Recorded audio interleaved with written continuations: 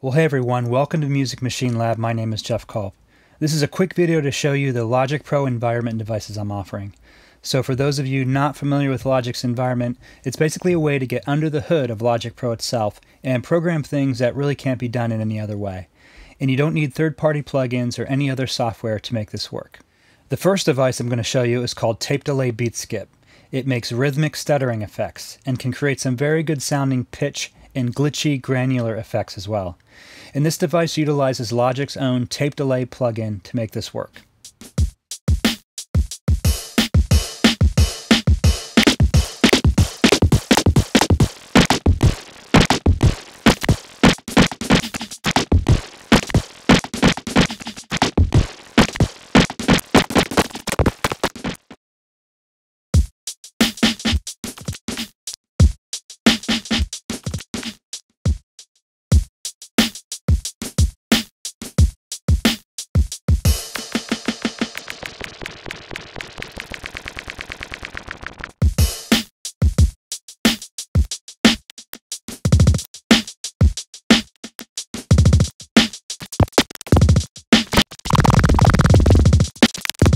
This next device is called Insert FX Glitcher.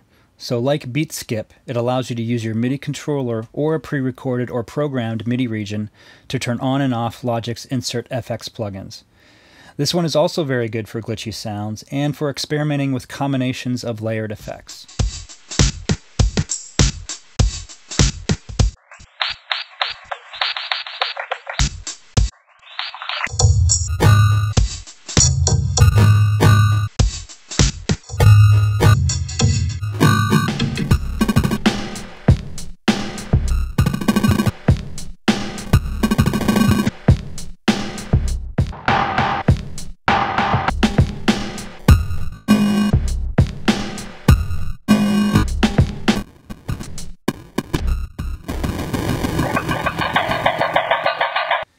And it's also great used in conjunction with tape delay beat skip.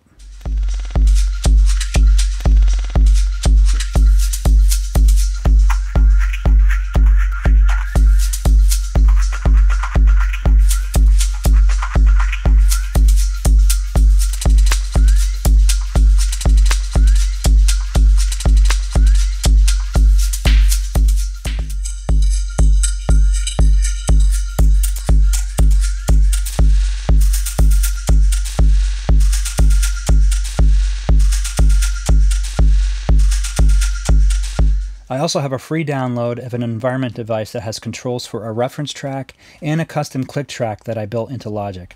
I use it on all my projects and it really comes in handy when I have an existing track that I want to add more production elements to like synths or samples. And this device controls a bandpass EQ, solo, and can make specific volume changes to the reference track. And it has a solo button and faders for the downbeat, upbeat, and count off of the click track.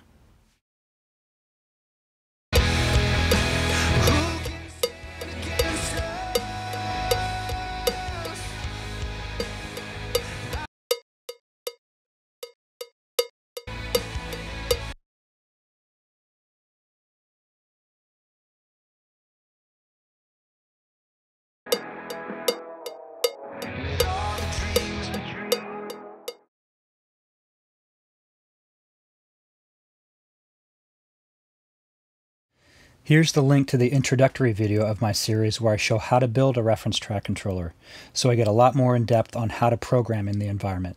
Well, thanks for watching, guys, and let me know your thoughts. I'm excited to see what you'll do with these devices by using them in your own projects and possibly reverse engineering them and coming up with your own creative ways to control plugins and features of Logic using the capabilities of the environment.